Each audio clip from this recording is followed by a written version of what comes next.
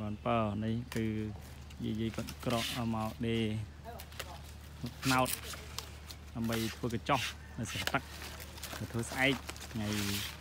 នេះថ្ងៃ9ខែ9 2021គឺស្អែកហ្នឹងចុះផ្ដើមណាសម្រុកប្រយុទ្ធថ្ងៃ10ខែ9 2021ហ្នឹងនិយាយគាត់មកដេ